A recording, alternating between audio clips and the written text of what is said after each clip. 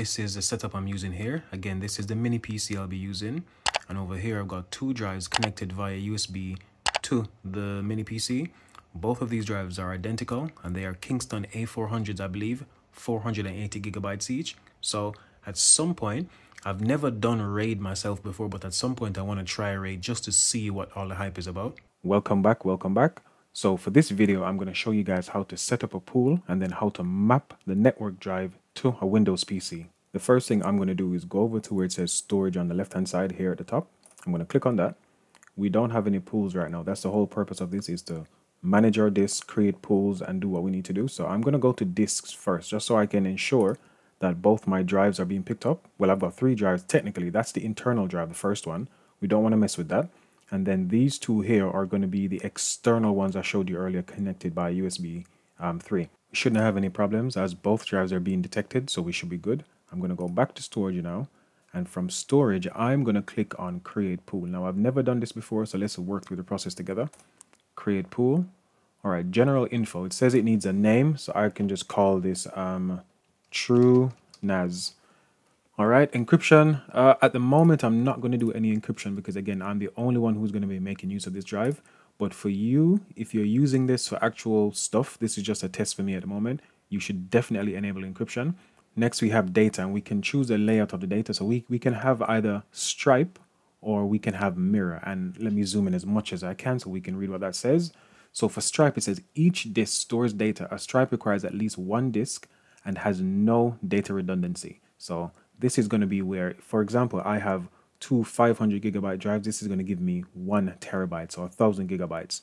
Now, if we go to mirror, mirror, so the data is identical in each disk. A mirror requires at least two disks, provides the most redundancy, and has the least capacity. So what that means is one drive, let me see if I can draw this on screen quickly. This is the only diagramming tool I have at the moment, so bear with me. Let me try and explain this as best as I can. So need three of these. So one, two, and three, right? So my first drive is 500 gigabytes. My second drive is also 500 gigabytes. And what Stripe is going to do, Stripe is going to join these two into one bigger drive. So I'm no longer going to see 500 gigabyte plus 500. I'm going to see one big one terabyte or 1000 gigabyte drive. That's what's going to happen.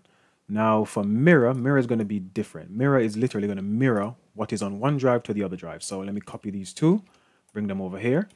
And Mirror is going to say, okay, whatever is on this first 500 gigabyte drive, exactly the same thing is going to be on this one. And this is really good for redundancy because what you could do here, let's say you had larger drives and you had videos and pictures backed up for years and years and years. If you have them mirrored, like I'm going to be doing here in this image, what would happen is everything that's on this drive is mirrored on this one. So if this first drive goes, you're perfectly okay. You're perfectly fine. You can simply continue using the second drive, add another drive back in, and it should then copy itself over. So you always have that redundancy. So that's the purpose of doing this. And that's why I really wanted to try out what RAID is like on here. I've never used RAID myself, but as this is just a test environment for me, I'm not going to be keeping this operating system for very long because I need to try CasaOS as well and any other free open source NAS OSs I find. So I'm I think the best one for me at the moment is simply Stripe. I want the most storage possible while I'm testing this just to see how well it works. Most people I would highly, highly, highly recommend Mirror.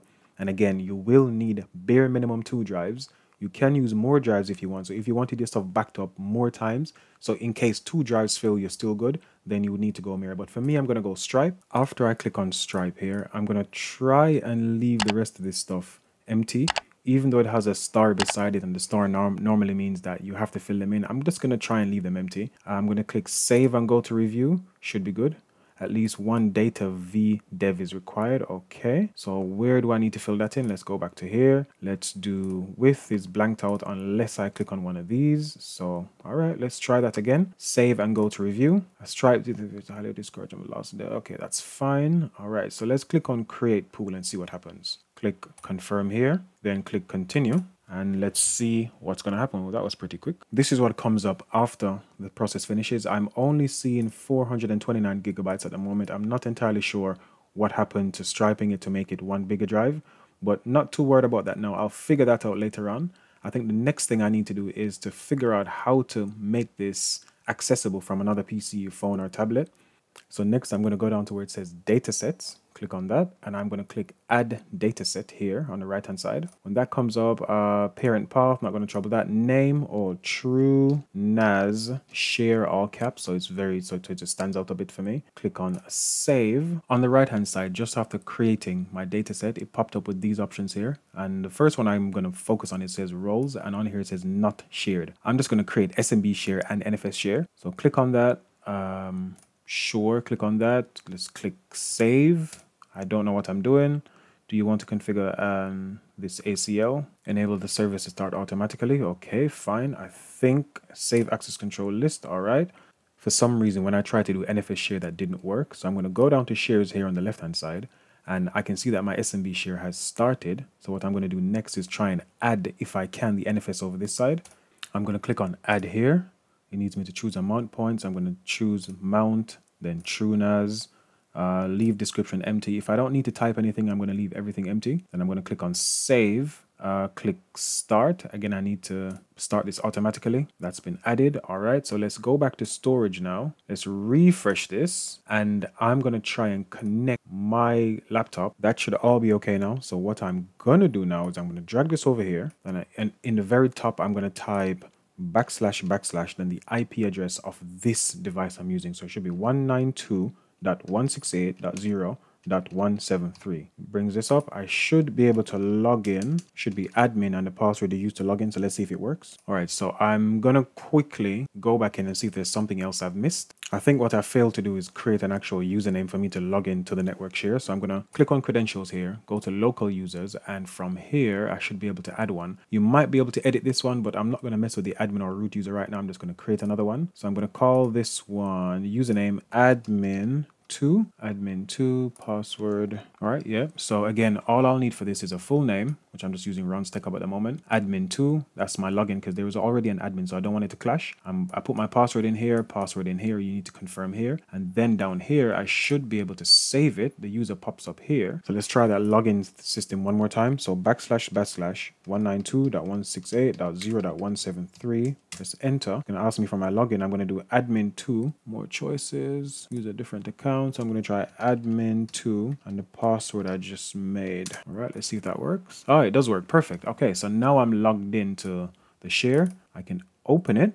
And what I'm going to try and do first is create a file, copy a file to it, then copy a file from it normally people do Word documents, text files just to quickly test it. So new, I have absolutely nothing I can create on here. So I'm going to just drag um, a file in. And if you can write a file to it from another drive, so if I can copy, let's say this is a file I want to copy here, I'm just going to copy it onto there. And if I can copy, then you know it works. If you cannot copy, then you don't have write permissions. So straight away, this is telling me I have view permissions, but not write permissions. So I need to go back in and fix what I need to fix. So I think it's the admin account. I think I figured out what the problem was. So if you go back into credentials and you should be able to find all the users that you have, you should be able to edit whichever user you want. But I already had admin 2. So I'm going to click on admin 2, click on edit. And under edit down here, I have to choose where the drive is and I have to give it read and write permissions. I'm not sure if I did that earlier or if I skipped over it. But just to be on the safe side, I ticked everything. Now you need to go in and do some research to see which ones you need to have. But again, this is just a test environment for me. So I'm just going to quickly tick everything, get it working, and I should be good. After that, I clicked on save.